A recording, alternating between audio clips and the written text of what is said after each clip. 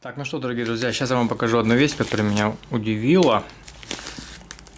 Я тут недавно ударился в минимализм, решил прибраться у себя везде, все повыкидывать по возможности. И нашел вот то, что я не выбросил, я собирался выбросить. Когда-то я торговал такими вещами, правда я не знаю, он у нас магнитный или нет.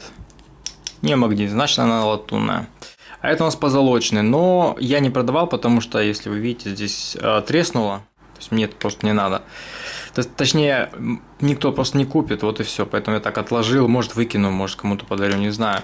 Ну вот, э, практика почти 5 лет показала, что не стоит хранить в вот таких вот пакетиках а, слитки позолоченные, посеребряные, да и вообще какие-то дорогие э, монеты в таких вот э, zip-lock.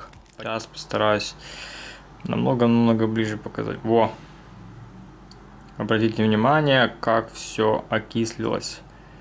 Все потому, что она хранилась вот в таких вот э, пакетиках. Если можно это назвать гуртом, давайте и гурт заодно посмотрим. Ну да.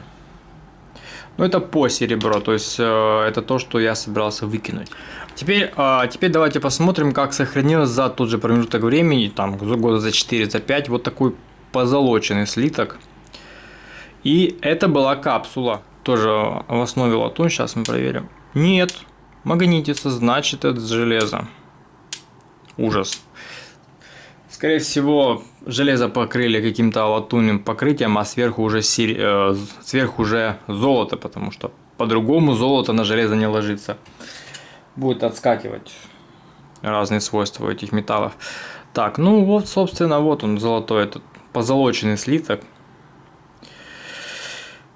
Вот что с ним произошло за года 4, наверное. Передние и задние стороны как бы нормальные, даже зеркало осталось. Если так пригодится. Но вот зато почернела вот эта часть. Может быть здесь маленький слой был этого золота, поэтому она и проявилась в первую очередь. Э, производители в Китае пишут, что здесь покрытие около 5 микрон. Кстати, если вы запутались с размерностью, то представьте, что в 1 мм 1000 микрометров, то есть 5 микрон означает толщину в 1 двухсотую миллиметра. Как лучше хранить? Ну вот самое оптимальное вот, вот так вот. Вот, вот так. Это самое оптимальное. В холдерах, неважно, они самоклеющиеся или холдеры вот такие вот на степлер посажены. А в таких листах для альбомов. Это самый такой оптимальный, распространенный.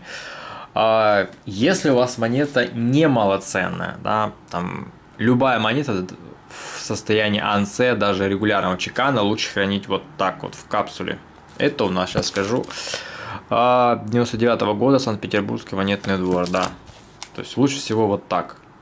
А, монеты АНС хранить в капсулах, это самое лучшее, но он не, не самый как бы дешевый. Монеты малоценные, да, то есть это копейки там 80-х, 90-х годов, начало 90-х. Ну, можно в таких вот э, листах, потому что они, конечно, не самый лучший вариант. Это не долгосрочное хранение, все равно даже видно, если присмотреться. Это э, вот это кольцо, естественно, от окисления остается. Даже вот здесь даже видно. То есть монеты все равно портятся. Они здесь лежат у меня года два с половиной. Так, чтобы не сбрехать вам. Ну, это как бы практика у меня за несколько лет, да, раньше я жил на Шверника улице.